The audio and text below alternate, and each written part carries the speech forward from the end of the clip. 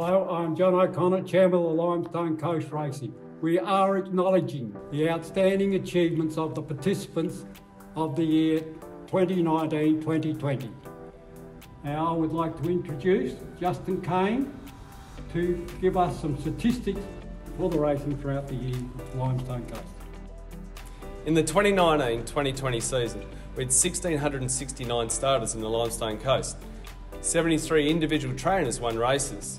53 of those were from South Australia. They raced for over $3 million in prize money in the Limestone Coast this season.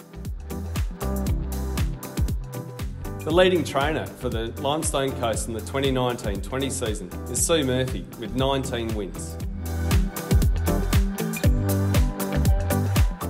very happy with uh, the team that we've had in.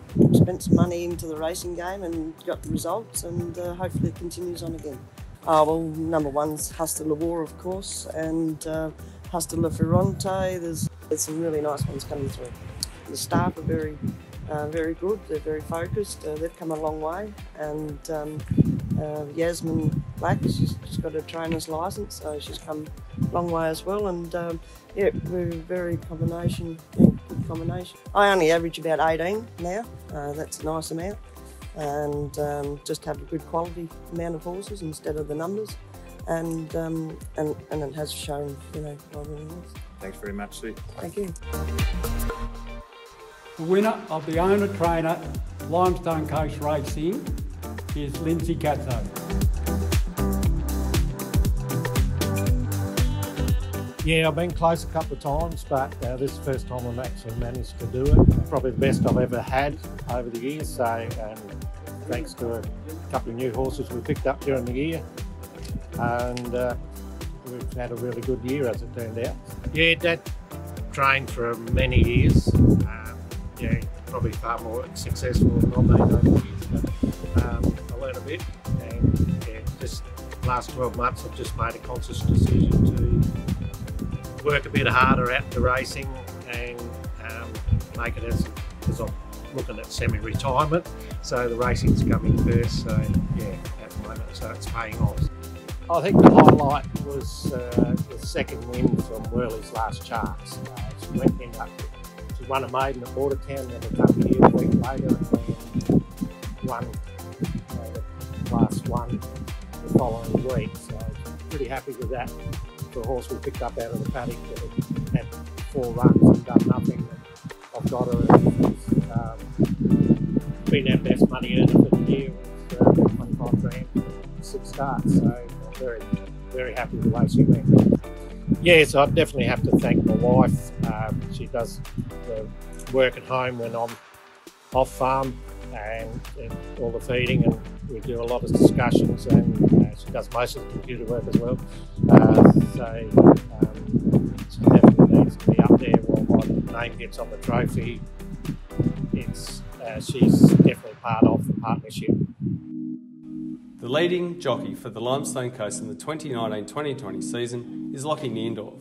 Lockie is also the leading apprentice for the Limestone Coast in the 2019-2020 season. Bordertown and Penola, between those two, would, would probably be um, where I had the most success. Um, I sort of seemed seem to be able to um, get a handle on those tracks the best um, towards the end. I think it was probably a broad network of trainers that I did ride winners for in the southeast. Um, Daryl Dodson and um, Peter Hardacre were um, were a couple of the main ones. But um, look, they were spread um, few and far between. I sort of had a few winners for um, lots of different trainers in those southeastern meetings. So um, and and my manager Nick Pinkerton, he, he done an excellent job. He he sort of made sure that my I had a broad network of trainers that I was riding winners for.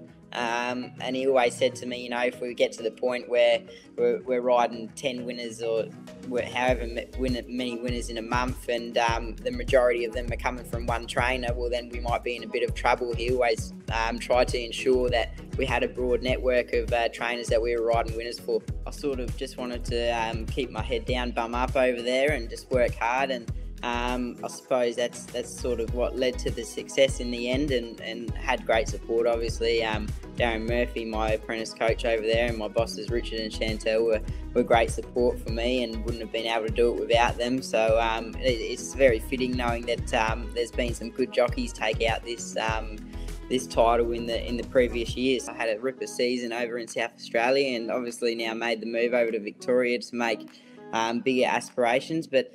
Um, nah, look, it was good. I was I was very grateful to get the support from those um, South Australian trainers, especially in the southeastern um, provincial meetings. So hopefully, I can continue on with it and um, you know get the ball rolling over here now in Melbourne. Um, I can't thank you all enough. Um, you've definitely supported me on um, my journey on on becoming a, a, senior jockey, and I um, wouldn't have been able to do it without you, without your support. And um, you know, I've, I've, come over here now to give it a, a red hot crack, and um, but it, it, none of this would have happened if it wouldn't have been from all those trainers in the southeast who have given me support from the get go. Hello, everybody. I'm KD, Kevin Douglas. I'm representing the judging panel made up of Darren Guthridge, local bookmaker, David Gilbert, journalist, and yours truly. Again this year we were asked to select the best horse for the two categories. Firstly, locally trained horse with performances anywhere, and secondly, the best performance on limestone coast tracks.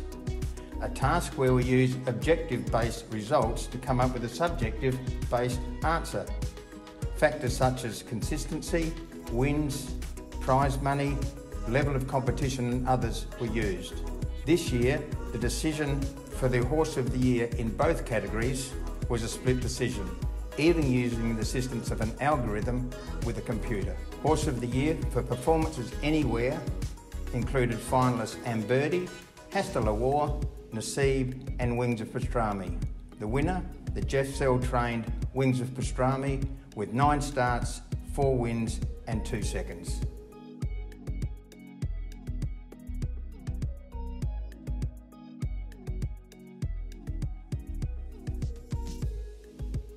Fantastic, yeah. To, to, be named Horse of the Year in the South in the Limestone Coast Horse of the Year. Big honour. So, yeah, big honour. Yeah, good girl. I think she's come a long way in a short time. Like she, she only started racing 12 months ago, which she's only just turned four. So, yes, hopefully there's a lot more racing left in her. But no, she's done a great job for a young horse. Been great to this stage. Well, we missed out on a lot of races through the COVID, I suppose. But the highlight for me was probably going to Melbourne and watching her win there because um, we, we, really didn't know where she was at. She, she won those two races in Adelaide and she won the first race at Penola. But to win in Melbourne, um, with the company she was in was um, that's that's really that was really telling us how good she really was. Credit to Jeff and Michelle for all the work they put in, uh, the hours they do with her. Uh, uh, they've got to take a, a bow, I think. Oh look, I, I rate her up there with them horses. Um, they're all good horses in their own right, and for her to come out on top of them um, yeah, it's a great achievement for her um, because they are very good horses. So young. And so young. So, but but yeah, take nothing away from those two horses. They're, they're, they're very good horses. Right, first of all, I'd like to thank Jane, or Winston Australian with her stable name Jane. Um, also the connections, the owners, um, for giving me the opportunity to train her, and um, the sponsor, Winning Edge, for a great trophy and, and, and good sponsorship.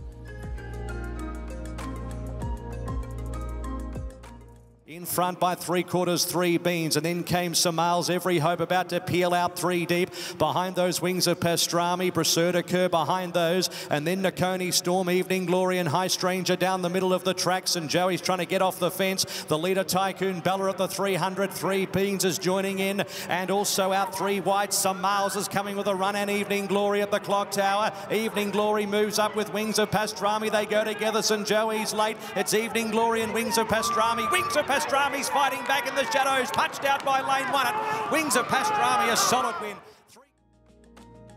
Horse of the Year performance on the Limestone Coast track. The finalists were Hasta La Furiente, Mr Hollyfield, Olatunji, Pass the Glass and Can He Move.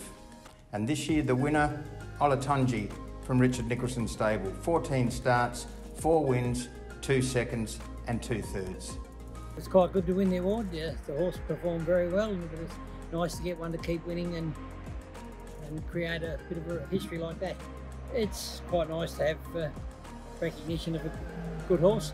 Well, he won quite a few in a row and uh, had a very good purple patch in uh, March, April, where he won four or five out of about five or six starts, which was a nice period. Well, Jeff Morn maybe, who was the rider of all of them, uh, he rode him, he was his sole rider, which was very good. Just nice that the uh, the racing around here has kept going, which is uh, where it's been in trouble around the rest of the world.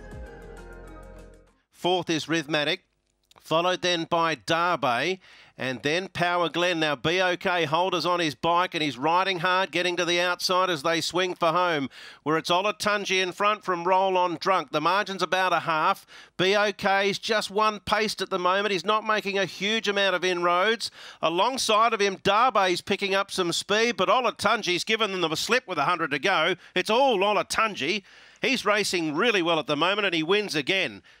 Limestone Coast Racing would like to thank all the media and anyone who has helped us through the 2019-2020 season. We look forward to seeing you all back in the 2020-2021 season.